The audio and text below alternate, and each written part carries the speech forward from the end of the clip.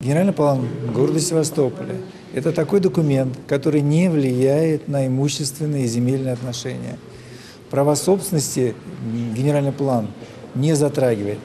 А, Здесь мы говорим о функциональном назначении территории, не о видах разрешенного использования, а о функциональном назначении территории.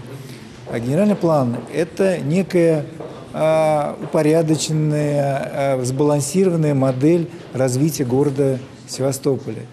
Она напрямую не влияет на целевое использование, либо на снос объектов и так далее.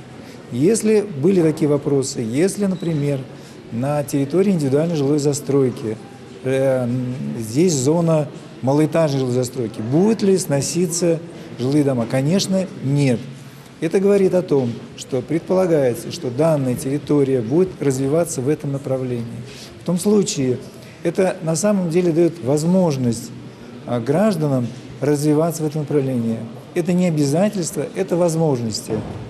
А поэтому, если там есть соответствующие условия для этого, то значит территория будет развиваться. К примеру, если, например, какая-то, ну, скажем так, деградирующая территория или территория, например, неиспользуемая, либо территория, которая сегодня там находится, например, складские сооружения или там производственная зона, на которой есть функциональное назначение жилье, это говорит о том, что у владельца этой территории, собственника, возникает право или возможность, он может продать инвестору, он может сам быть участником некого там инвестиционного процесса по развитию этой территории. Поэтому еще раз как бы повторяю, что генеральный план – это документ территориального планирования.